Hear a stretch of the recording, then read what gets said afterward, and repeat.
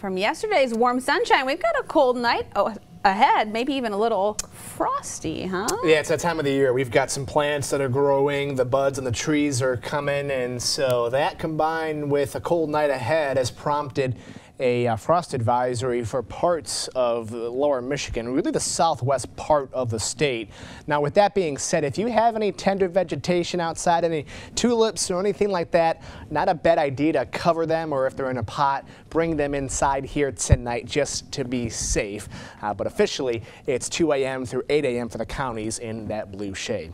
Outside, looking great after a very cloudy day. The sun is now out, the clouds have gone, but with the clouds clouds getting out of here, that's going to be one of the factors as to why it's so cold here tonight. With no clouds in place, the earth cools off rather quickly. We're still in the 50s right now, still close to 60 down near uh, Adrian, 54 in Lansing, a pair of fives in Owosso, 55 also in Jackson, but those numbers fall fast overnight tonight. There go the clouds, and with high pressure back in to the west in command. That means more sunshine for us come tomorrow. I think Wednesday should be a pretty nice looking day.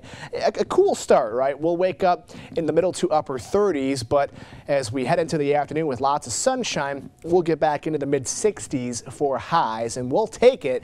I think Wednesday should be a nice day. Things change a bit, though, come Thursday with that chance for rain back in the forecast. 7 a.m. on Future Track, a dry start, lots of sunshine early on, but watch what happens as we head into the afternoon. There's two systems that are going to be kind of fighting for space, a larger one to the south, and then for us, a cold front, and you can see it starting to move through around 5 or 6 p.m.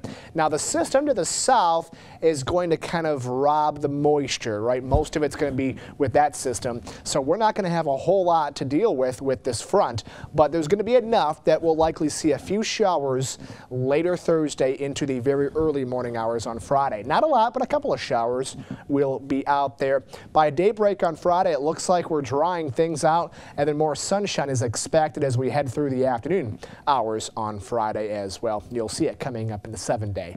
So tonight, cold, mid 30s, some of those outlying spots the lower 30s. And again, there could be some frost out there, so if you have any tender vegetation, cover it or bring it inside with clear skies expected. Tomorrow, light winds, more sunshine, should be a very nice day. After a cold start, we get back into the mid 60s for highs. Not too bad for this time of the year. No 70s like we had yesterday, but we'll take it for your Wednesday forecast. Thursday should be dry to start but a couple of showers are expected after sunset and into the night. Maybe a pre-dawn shower early Friday. Aside from that, Friday does look dry as well. A little bit more rain later Saturday into early Sunday.